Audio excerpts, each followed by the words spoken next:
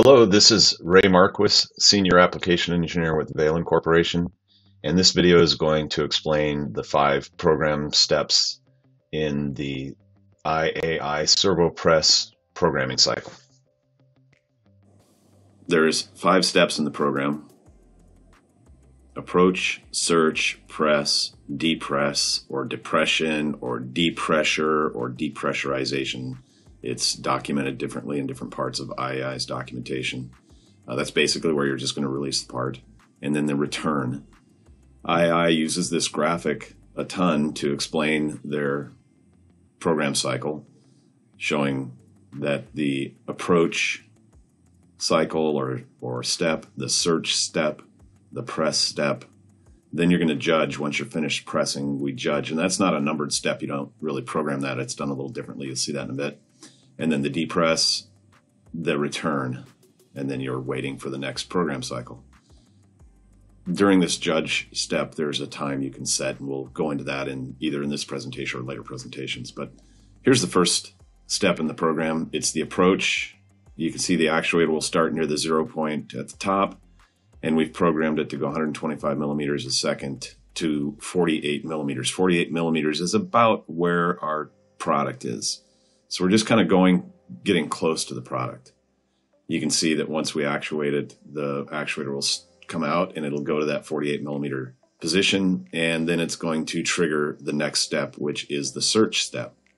In the search step, we start where the approach step ended. And we're going to go look for a terminating load. In other words, we're looking for a certain amount of feedback. Uh, this 30 is a little high. I'd probably normally set it at about 10. And what happens is we'll go and we'll push down until we start to see a little bit of force feedback. And once that force feedback back matches this terminating load, then we're going to transition to the press step. Uh, basically, we've just found the part there. If there's no part there and we keep moving, once we pass this limiting position, if we haven't seen the proper force feedback, then that's going to cause an error and we'll, we'll fault out. And basically, that tells us that we didn't have a part to press on. Then comes the press step, the press step starts where the search step ended. So we ended around here. That's where we're going to start in the next step. And we have all this criteria that we enter in. And the criteria that's used is based on which press mode you've selected. There are nine press modes. I'll cover those in a minute. In this case, what we're going to do is we're going to move to 75 millimeters and it'll be a good press as long as we don't exceed this maximum load of 80 newtons. So if we got to 70 millimeters and the load was 81 newtons, then we'd fault out and, and that would indicate, give us an indication on the outputs. So we move down a little bit more and we compress that spring until we reach the 75 millimeter point. And then here's a little bit more on the press. In this example that I'm talking about, we used speed control keeping position as an example. So once the press criteria have been met, in this case, we made it to the position without exceeding the force set in our previous slide. The judgment parameters that we program can be checked. So these are in the software right above where you set up your move sections or program sections. Once we get to that position, uh, we can say we want to look kind of bracketed. So let's say our target position was 75. We could say, well, we want the lower limit to be 72 and the upper limit to be 78. So as long as it's between 78 and 72, then we're okay as far as the position goes. We can also fail based on the load. So if we get to that 75 millimeters and we know that we should see about, let's say, 60 newtons of force, I could set the upper limit to 61 or 62 newtons and the lower limit to 58 so that if it's even though it's pressing and it's it's got force feedback and it made it to that position, we can detect whether or not it has the proper num- amount of force feedback to pass that part. Some modes have a target position as a judgment criteria and some have a target distance. So you can use those in you know change those around based on your application to meet your pass criteria.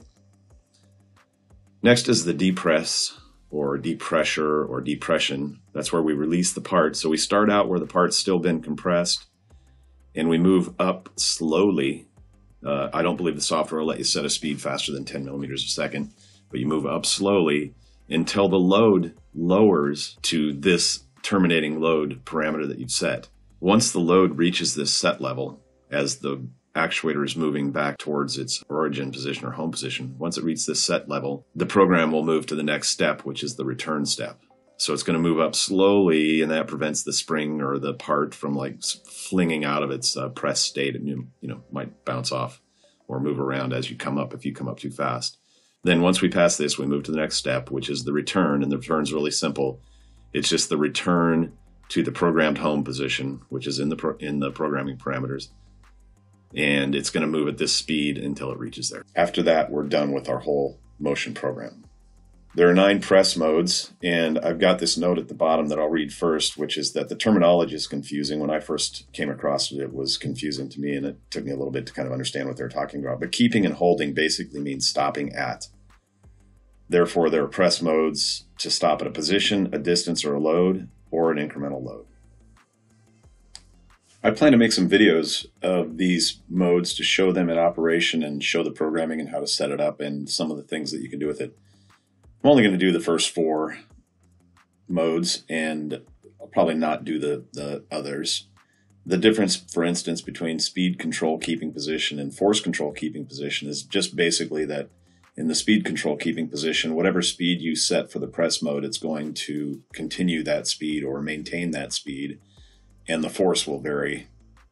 In the force control mode, it's going to use force to move, and it's not going to control the speed. So these modes are the same. In other words, speed control is going to stop it at a position. Force control is going to stop at a position.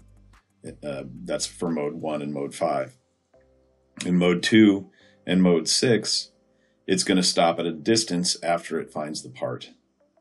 But in mode two, it's going to maintain the speed. And in mode six, it's just going to use force to move and not maintain the speed. So look for these videos. There will be some for all four of these modes the first four modes here. And possibly I'll do one for mode 9 that's a little bit special, and we'll talk about that in a different video.